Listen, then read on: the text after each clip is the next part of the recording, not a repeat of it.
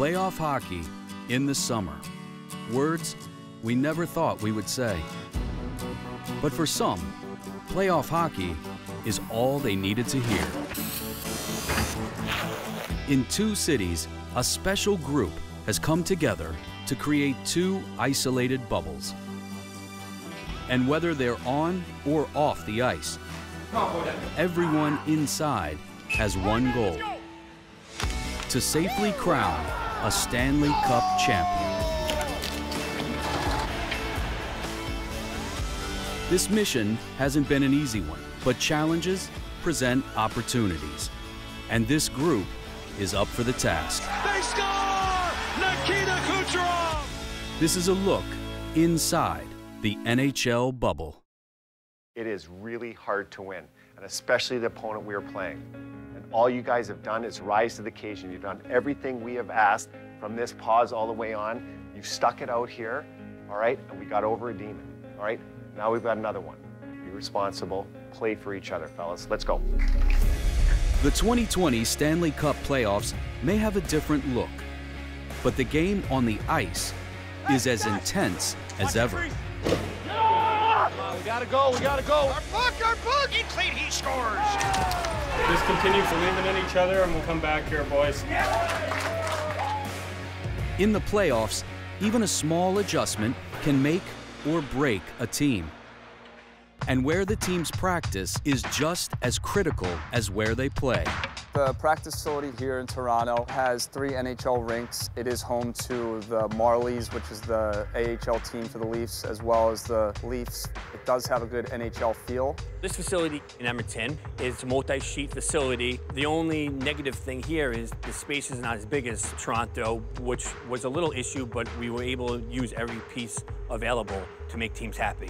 My role for the bubble here in Edmonton is taking care of all the transportation needs to and from the practice arena, as well as the equipment staff and trainers to and from Terwillegar. Typically, there's eight buses that need to fit into a spot where two buses fit, so we've gotten pretty good at playing bus Tetris in the morning.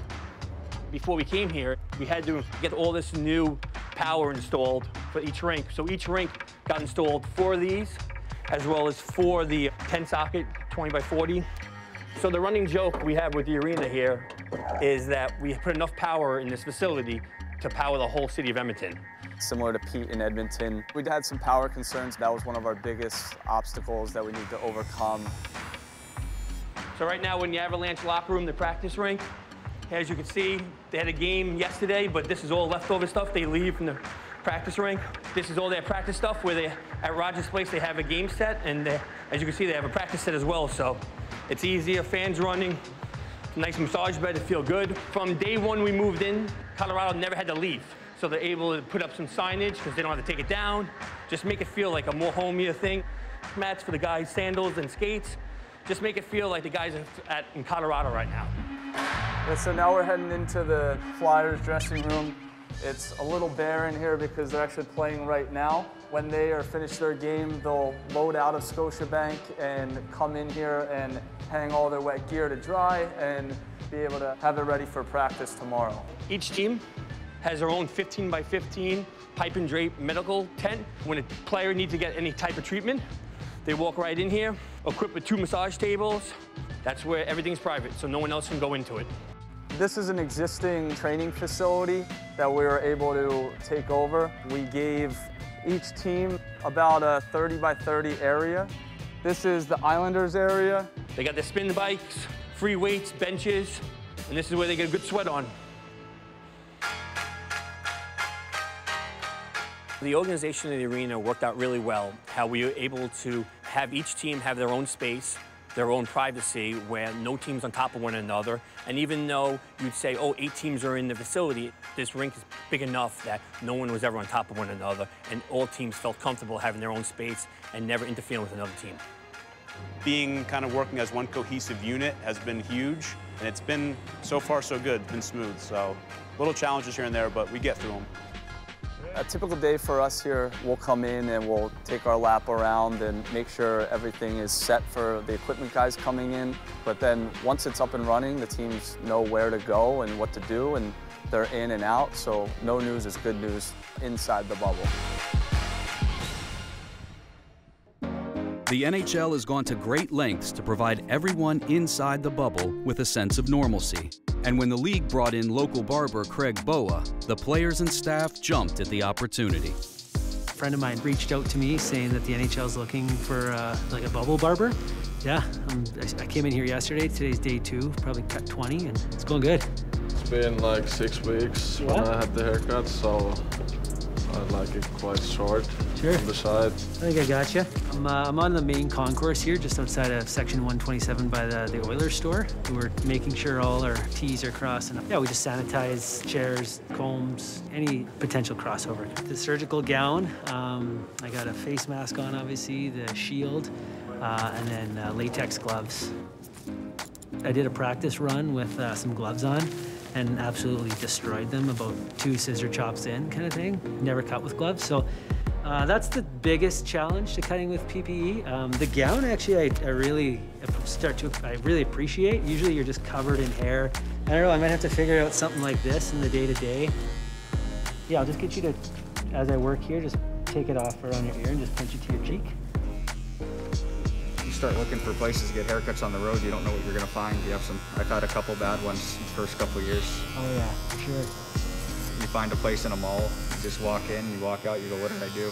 It's just kind of a, a unique dynamic that there's like that we're all in one place, and I'm kind of like almost the middle. I hear both sides of the stories, and they appreciate me being here and uh, the sense of normalcy it, it's bringing them and giving them. Honestly, I think some of them didn't even really need his haircut or necessarily want it. He just wanted something to do, like something, maybe someone new to talk to or something, you know, something to pass the time. You know, you can't deny it's it's a weird situation what we're in, but. I'm pretty good at kind of loosening people up and getting the conversation going. So yeah, it's I- I'd say it's holding true to kind of barbershop vibes. Alrighty, you're free. Perfect. Feel great. I feel like a new man. All right, man. Nice. Looks good. Yeah, a lot lighter. Like it. Thank you.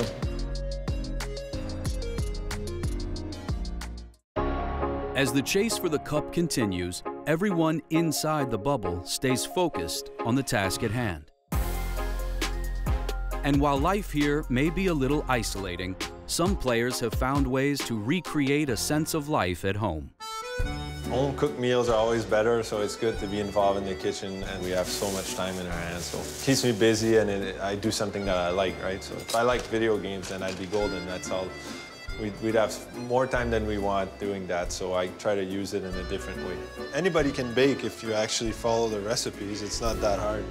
First time I did the cookies, and then we won. So the next game I made uh, my mom's banana bread, and then we won again. So like we all are hockey players, being superstitious. I didn't want to be the reason for a loss the next game. So today, maple pecan pie.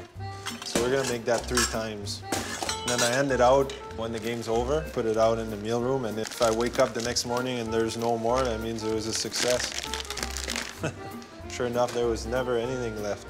I started cooking when I was fairly young, probably around 15. My mom would cook and I would help around, but my mom and my grandma, that's how I learned by just looking mostly, because I didn't want to interrupt what they were doing, so that's how I started. This is when it forms. I like making the dough, it's, it's satisfying. There's something, something relaxing in rolling it and making this out of flour, right? I think it's cool. I've had a call from Marchessault yesterday, uh, requested a carrot cake, but I said uh, if I do that, I'm gonna put a special ingredient in there. So.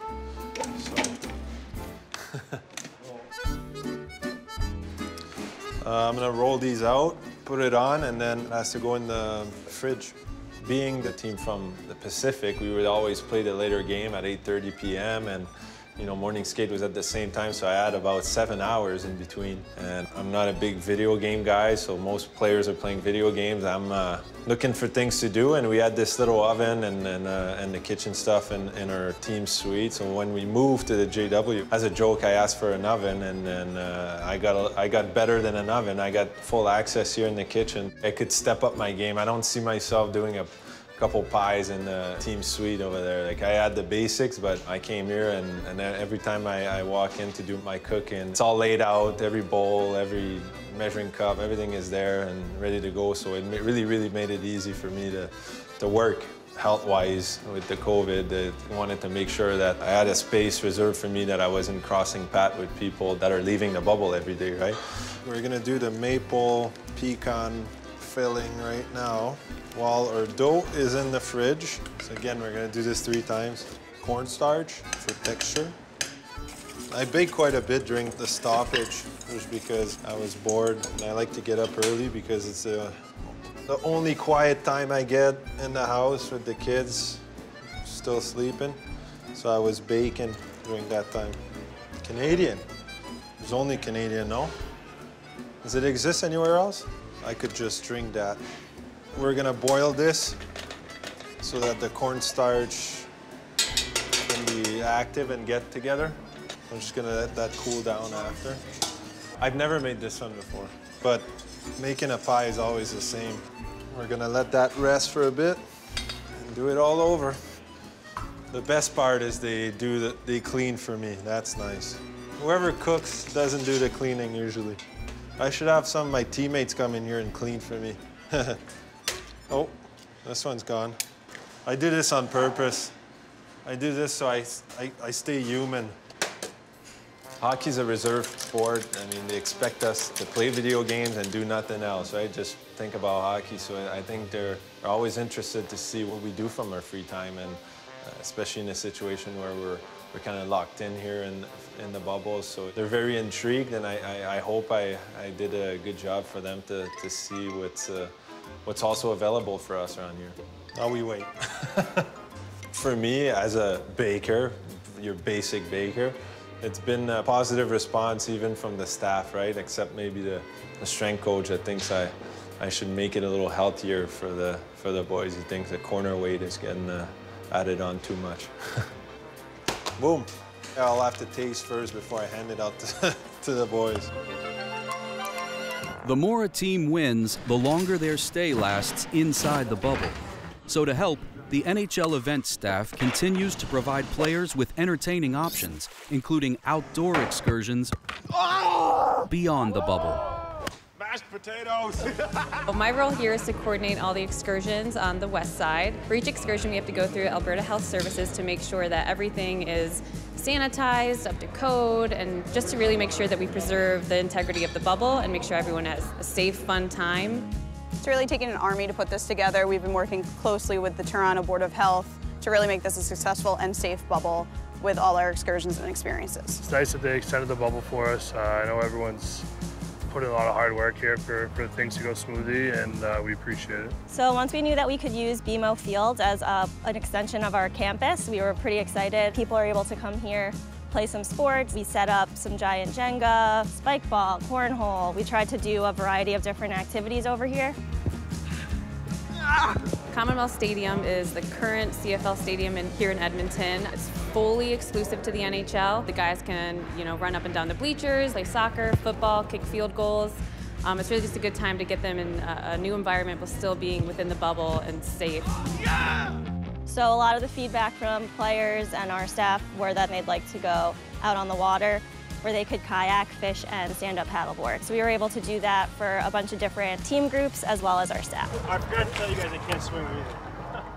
We like to extend the bubble to things outside of the arena, such as going to something called the Rec Room, which is a big arcade with axe throwing and bowling, just to get the guys some sense of normalcy and some fun. Yeah, mentally, you're stuck in the bubble. I mean, you're watching a lot of hockey and you're playing a lot of hockey. So when you get a little bit of downtime, it's good to kind of get away from the game a little bit, give yourself a reset, and um, just have some fun. Yeah, it's great to have them come here and be an outlet to show them a, a good time and show them some hospitality. I think golf has definitely been the most fun for everyone. Partner golf, perfect. Really gives the guys a chance to get some grass and fresh air, and we don't necessarily have that here at the arena, so it's nice to expand the bubble. Yeah, it's been really a, a, seamless process, to be honest, working with the NHL, making sure that the staff is all following the necessary protocols to keep the, the players safe. I mean, just to kind of step outside of the hotel and be outside and just like enjoy a day of golf with the guys, it's going to be awesome. And a little change of scenery is, uh, is always good to get some fresh air, so uh, today's going to be a lot of fun for sure. Nice shot. We were able to show Tenet, which is a new movie offered by Warner Brothers here in the bubble. It's been really cool. We have a movie theater over at Hotel X. Big discussions between the NHL, Warner Brothers and Hotel X to make this happen. So we had some showings for both staff and players. It a great movie, a lot of action. It was kind of hard to figure out there, but uh, came together at the end. We've also tried to bring a little bit of home into the bubble. We have things like the Kentucky Derby party. We've also brought in celebrity chef Trevor Connie, who is the MasterChef Canada winner. When I first found out I was coming into the bubble to cook, uh, immediately pasta hit my mind. It's what I love to do. I love cooking pasta. Just really home-hearted, good, technical food that I love to eat and I love to share with my family, and now I get to share it with everybody in the bubble today. Cooking food and watching hockey at the same time? This is heaven, man. With hockey going on every day, when we do have an off day, it's important to keep people active and have some activities that are fun and different and kind of just refreshing.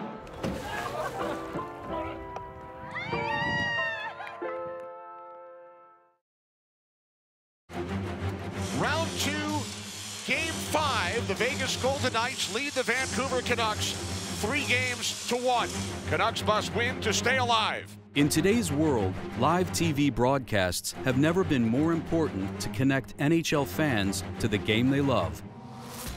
In Edmonton, NBC's Kenny Albert and Pierre McGuire live with the players in the bubble, acting as the eyes and ears for fans around the globe.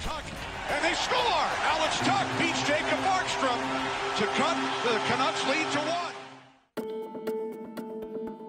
I think we've all settled into a routine. It feels like Groundhog Day. Well, my day started around 5.30 a.m. because I'm doing radio back to the East Coast. Around noon, I head over to the arena for the daily COVID test.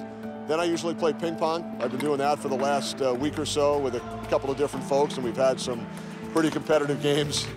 Get that? By being here in the bubble, uh, Pierre and I have actually run into a number of players and coaches in the plaza outside, and we're able to have some informal conversations. The access we've had to the players and coaches while not in the rink has probably been better than what I would get during the playoffs any other time. So I'm really grateful for that. Just looking over the notes from game one and prepared my new sheet for game two. Prep gets a little bit easier in the playoffs when you see the same teams constantly over the course of a series or multiple series. Just doing power play, goals for, goals against, power play in the series, previous series records. I try to memorize this before the game. That's why I write it out. Because when you're working down low, you don't really want to be looking at your papers. You want to be looking at the game. So when I, I find I can memorize more when I write it down first. So that's before every game I do that. And this would be all the games that I've done so far in, in this tournament and all the ratings that I've done since we started. So you can see they're all just sheets that I use and go back and study and break down. One nothing, Pierre. Thank you. Richie has the goal. It's kind of a unique situation here, not having fans in the building. The intensity of an NHL warm-up, when the fans are coming in, the music is pulsating, you feel it at ice level. Here, it's a little bit different, obviously. Stamford, Connecticut, it's Pierre. How you doing there, Matthew? Really good. Did you guys have a chance to cut all that tape that I asked? Yeah, I don't mind looking at it at all. Thank you. That's good. Perfect. Overtime winner, perfect. Usually I'm talking to our truck all the time during warm-ups, building packages, focusing on maybe an injured player and how he's doing so we get camera shots of him. You know, I was just talking to uh, Reaves down in the dressing room area, so no, he knows he can't take penalties against Roussel. That's a real big part of it. That's going to be a huge storyline here tonight. It's a tremendous broadcast location. In most NHL buildings, we are all the way up in the press box at the top of the building, higher than all of the fans. Here in Edmonton, due to the fact that there are no fans, uh, the NHL was able to set up a broadcast platform for us behind the first 20 or 25 rows on the main concourse. Face off one by Horvat. Edler with a shot, missed the net to the right. When you're in between the benches, you can hear both benches. So here, the only thing you're missing is you're not hearing the far bench. Vegas zone. Cuts wide on Shea Theodore. Stuff attempt and then Toffoli scores! His first shift back. Toffoli takes advantage, and you see how they get up one nothing. Just a simple little breakdown, but a real good job by Toffoli, getting to where he has to go to score. I think we figured out the system. It didn't take too long, and hopefully it's not really noticeable to the viewers and listeners. Here in Edmonton, 2 0, Vancouver. Another group whose job it is to go unnoticed is the staff of NHL Images. a team of skilled photographers deployed to capture the greatest moments from every game.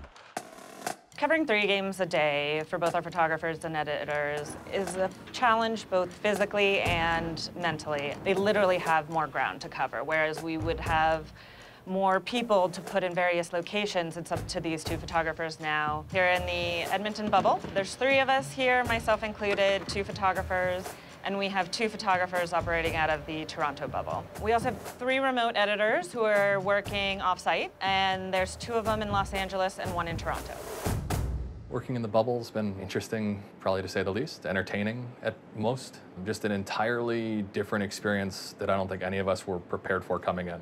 For the entire run of playoffs, it is very typical to have two photographers working every single game. These guys typically don't have a lot of time in between each game, so sometimes they're not even able to get a bite to eat. So it's a lot. It is a lot, um, and on top of that, the, the mental aspect, you have to be just tuned in completely to every game. So we're operating about five cameras at once. We have two in our hands, and then we have three remote cameras set up in different spots in the rink. We always have to make sure all our gear is working, and if the, the framing gets off, it runs out of batteries, we gotta come up here and we gotta fix it between games, so we don't have a lot of time. It, it is a lot of work. Like we're clocking 15,000 steps a, a day, running up and down and fixing cameras. We're headed up to the catwalk and we're gonna be installing an overhead camera. If you're afraid of heights, maybe it's not a good place to be. So we'll start by putting it on the post here, tightening it up. Little airplane wire here in case things go sideways, which I'm sure they won't. Now we wanna position it so that it's pointing kind of right above the net so we get that net activity. So these cameras are fired using Pocket Wizard radios. So when we sit ice level, we hit a button on a radio down there and it'll fire these cameras in the roof. And then we just pray something good comes out of it and uh, we just edit it later. The strobes are synced up to another Pocket Wizard device that I have in the hot shoe of my camera. So when I take a photograph, it sends a radio signal that's connected to these. It fills in a lot of the shadows. Just to give you an example of what that looks like, Auston Matthews going through the gate, where normally he'd be surrounded by fans, uh, but this time he's surrounded by a giant graphic that's covering the seats. There's a lot of different things that we can do that we can't normally shoot, and so this photo being one of them. Everything's a little bit different. We're normally supposed to have this done a couple of hours before the game, but because the games are so close and everything, and there's a lot of other things happening, here we are as they're warming up, you know, and I'm putting the camera together to go in the net, which will be in that game. By using a 15 mil fisheye, it gives me a vantage point of the entire net from post to post to crossbar. It's remotely triggered, and I'm sitting 200 feet away at the opposite end of the ring. Tape that back down so it doesn't wander away during the game. So netcam images are great when the goalie actually turns around and you can see the goalie's face. I know what the frame looks like, but it's a bit of a guessing game because I am 200 feet away. Nazem Kadri, I did hear through somebody else that he loved the photo and he requested a copy of it. It's one of my coolest net cams ever, so stoked on that. We have photo runners typically for the Stanley Cup final, and they're the link between the photographer and their position around the arena, and our photo editors who are usually in the images office. So without that, it's now up to the photographers to ingest their images, send the selects to the, the photo editors offsite. So low scoring games are typically around 3,000 images. Higher scoring games can be around six or seven. So the editors will whittle it down to about 120 pictures per game. We're essentially doing the job of four or five photographers would do. So it makes it a little bit hectic at times, for sure. At times, we've had less than an hour in between games, and you're trying to get coverage of what's happening behind the scenes, as well as prepare for the next game, and to get yourself ready to shoot the next game, you know? But so far, we've been pulling it off. Every day's the same, it's just there's a few different results. It's like Groundhog Day here. I can't recall in my lifetime ever so many games in such a short period of time. I've now done 46 games in a 21 day period. Which is the, the normal amount of home games that you would do in an entire season. And the fact that there's only uh, two NHL images shooters certainly makes it a special thing. There's a pressure to make sure you're always in the right place at the right time. And I think that's why we've put remotes where we have, and we're lucky. We're, we work together really well, and we complement each other. We've been lucky, and it's been really beneficial. But yeah, you you feel the weight of being the sole eyes to the outside world. We supply photos to all 31 clubs. We help supplement the coverage of NHL Social and .com. We have a lot of partnership requests that we have to fulfill. So covering all of that stuff with two guys is a challenge, but again, our guys have, have risen to the challenge and they've been doing great. Yeah, I'm really grateful for the team that we have here. It's history. It's fantastic, fantastic experience. It's incredibly gratifying to see your work, you know, pop up everywhere it pops up. We work, you know, 16, 18 hour days. We're the only two covering two, three hockey games a day for the last three or four weeks. And it's nice to see your hard work out there in the, in public and on websites and being used and appreciated by fans and players alike.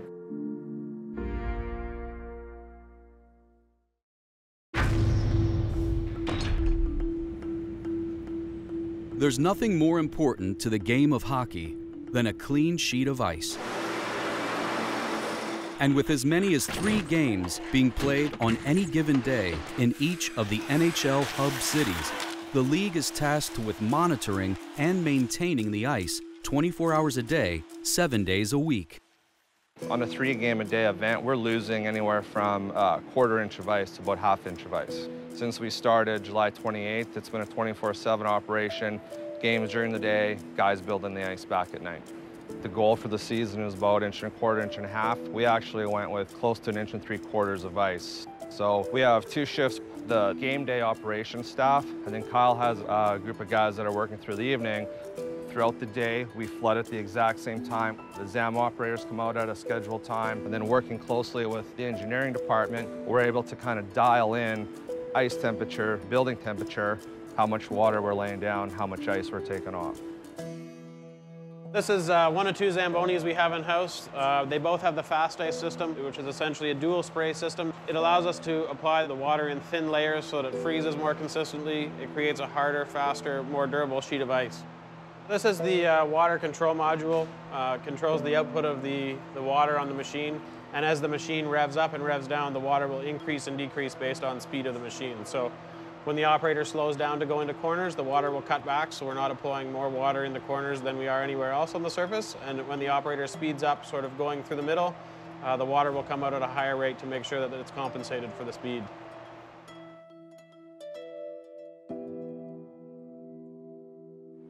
This is basically where we control everything from an ice operations perspective in the entire building. Temperature, our humidity, anything that happens out in the bowl from an HVAC perspective is controlled right here. And so the readings that we get on this system are specific to the bowl environment in totality. And this system here tells us the temperature is based on the field of play level. So the guys will focus almost entirely on surface temperature. Slab one and slab two are the sensors that are embedded in the concrete, and so we pull the average of those, which you see calculated right here, and the infrared camera is the camera from above that gives us the surface temperature that's critical to the player. In behind this office is our ice plant. We have three main compressors, two glycol pumps. There's 100% redundancy, so if we lose a piece of equipment during a game, we'll flip over to the emergency piece. We do have that ability if something fails mid-game. After every game throughout this tournament and throughout the season, uh, we'll get reports, um, ice quality reports filled out by the officials and, and, the, and the teams as well.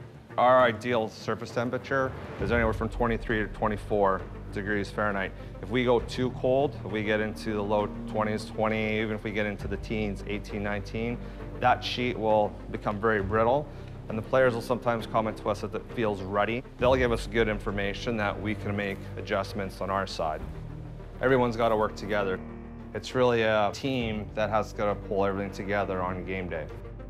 And that's what's been great this whole tournament is working with everyone, and everyone's been dialed in on, on what we needed to do. In Edmonton, this effort is a family affair. Father and son team, Dan and Mike Craig, have never worked closer than they have from inside the bubble. oh, am I looking at you? Yeah, yeah, yeah. Okay. How many issues have you guys had the past 40 days? None, to be honest. Yeah, not that I know of Not anyway. that I- Yeah, it, uh, no. Mike Craig, Senior Manager Facility Operations with the National Hockey League. Uh, this will be my eighth season. Dan Craig, uh, Vice President, Hockey Operations, been with the league for 23 years. The old building here in Edmonton, I was there for 10 and a half years. Uh, working with the Edmonton Oilers and uh, Northlands Park. Somebody walked into my office and said, I've been sent here to see if you'd be interested in working with the National Hockey League full-time. Raised in the rink, yeah, here in Edmonton, and uh, yeah, I just grew up uh, just to the west here in Spruce Grove, so uh, very nice to be able to be back here. When we were hearing the rumors of where this this tournament was going to take place, and then all of a sudden we find out, basically a week before or anything, that by the way, you're going to be together in Edmonton, and just you know, I mean, like you couldn't have put a script together better than this. so what happens is I'll come over in the morning, Black coffee, please, regular. There's a nice build overnight, but at 6.30, I'll be in, double check on depth of the ice, uh, meet the crew in the morning. Great to see you today. You too, Dad. All right. Mike will come over for coffee in the morning, and we just discuss over things that are going on for the day, and then we switch over in the afternoon, and then he takes it for the games. Always like this end of the rink, too. This tournament is a very high definition of what has been in the works for 20 years. This crew here is a good young crew with a good background. They stay on point, they stay on the schedule, they know that the timing of what everything has to happen when compressors come on, when they go off, when they edge, when they flood, how much water to put down. So the teaching is what I've been most proud of, especially when you have been in the industry this long, you want to make sure that the, you find the young people coming in as you're basically going down the back road of your career. So really during the games, again, we're working with the crew that's here, monitoring conditions and, working with them to make sure they're hitting the right temperatures and our schedules are, are where they need to be and, and, working with the crew downstairs. But we've set up a location upstairs here where we're able to monitor temperatures and then it allows me to actually watch some of the game and actually, you know, watch how the sheet's kind of reacting and watching how the puck moves and all those kind of things and kind of bouncing back and forth between that spot and downstairs working with the crew. We can't emphasize enough how good this crew is. They are making our assignment very easy for us in, in this facility. When it was three games a day, we knew exactly how much we needed to shave, the timing that it was going to be. Now we're just doing the practices in the morning and then we have a little bit of time in the afternoon to do the maintenance. And then it's a matter of how much do we shave off, how much water we put down, because our timing is always the same when we get onto the sheet of ice. We're coming off a lot of times with 11 minutes on the clock. So we have a lot of time for the, the ice to set up for the drop of puck for the next period. Since I've started, I haven't really had a chance to spend this much time together. There's a few days here and there during other events, but typically we're not spending the, the amount of time together like this, and it's been, uh, it's been pretty fun. It's been great. I'm hoping that he, he's learning something from me because I'm learning a whole lot from him, that's for sure. It's, it's on the people skills I'm very proud of on how he's handling the crews and, you know, and it's one of those things where you know, when you do have a younger crew and when you're watching them and how much that they really absorb and uh, and they want to learn. This crew really wants to learn. So when you do go downstairs for the short amount of time that we are down with them and just give them little pointers, they grab it and they, they'll, they'll mark it down and they run with it. And I think it's a, being that we, we bounce ideas off of each other all the time because we're watching different things and, and we're watching different things, but at the same time, we're seeing the same thing. For me, that's the cool part especially with a lifetime event is what this is. And, and being a part of it together is just phenomenal. The league has really pulled it together and to be able to do it like full circle and be with my son in this environment, phenomenal.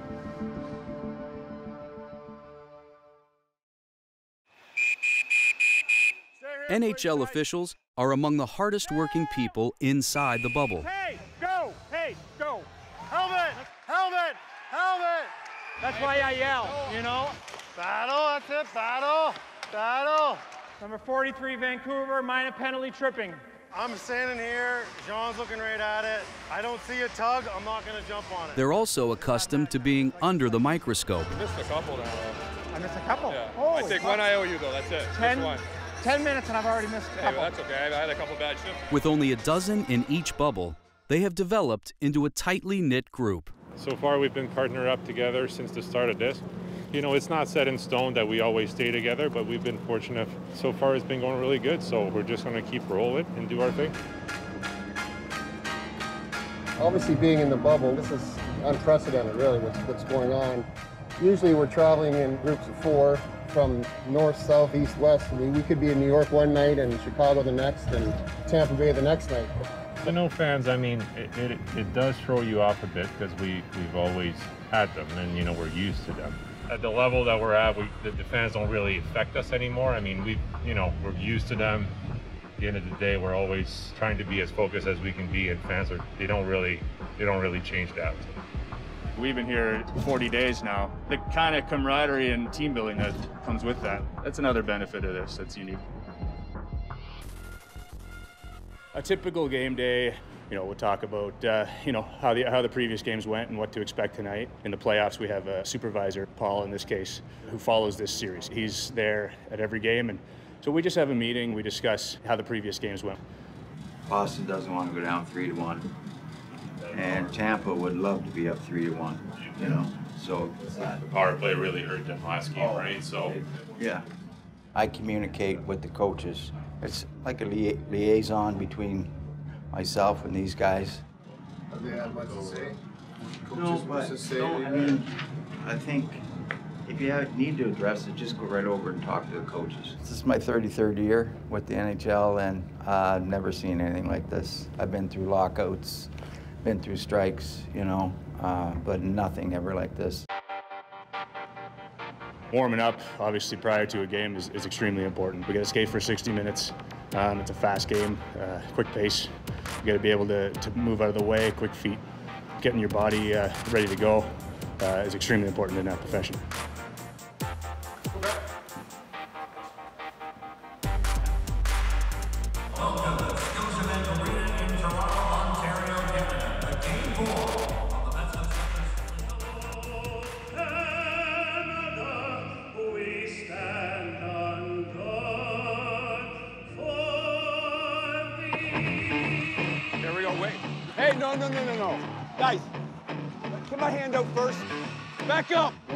Out there and doing the hockey, the hockey's fantastic. Go, let's go, let's go. Watch the feet, make sure we're stopped, down. All the teams have been really competitive and, and they're out there fighting for the Stanley Cup. As officials, I mean, we're trying to do the best we can.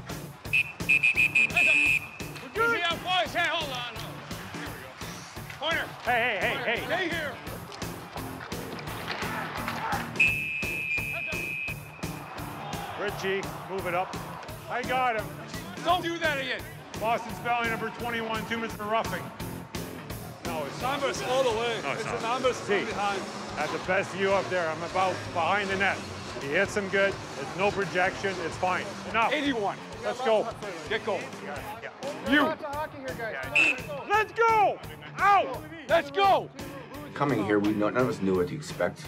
Uh, both, you know, players, even officiating the game, or the level of the intensity, or the quality of the games. But you know, from what I've seen and what we've talked about amongst ourselves, it's great. It's just it's normal playoff hockey, minus the fans, which brings emotion to it. But these guys are bringing their own emotion. They're finding their own emotion. Even our guys are preparing, just like it's playoff, minus the travel.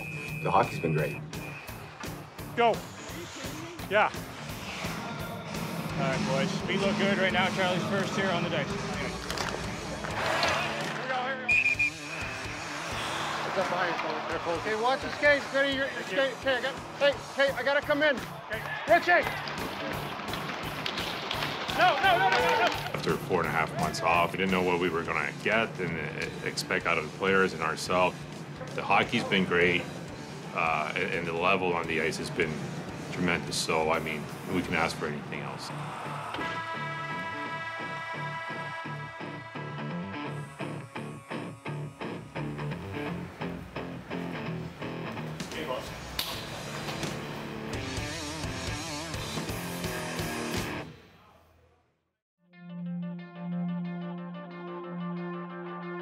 Stay in the moment, but enjoy the moment. These are fun games to be a part of. Living inside the NHL bubble is a constant reminder of what's at stake. And after more than four weeks together, the teams that remain lean on each other on and off the ice.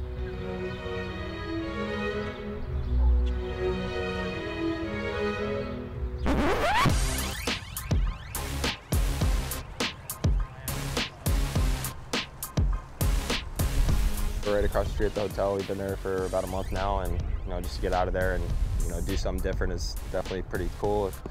Cool little setup here. You know, we can kayak and get away, and you know, feel like we're not in that bubble again. So it's pretty nice. We've been lucky. I mean, the bubble's been great. Hotel we're staying at's been awesome. And, uh, it's been a lot of fun. So it's nice to uh, mix it up and get outside and enjoy the day. I'm just gonna go for a twirl in the kayak. I don't really do too much fishing, but uh, yeah, some guys are doing that. I don't know if they're going to catch anything, but Mountain Man TK is doing that. He's a pretty good fisherman, so we'll see. Do something with your teammates that's not hockey related is always, uh, you know, pretty good for team bonding. Once you're on, you'll all right. So I think just sit on the dock and like just kind of shimmy on. I'm definitely falling in. oh no! Maybe start sitting down. No, I got it.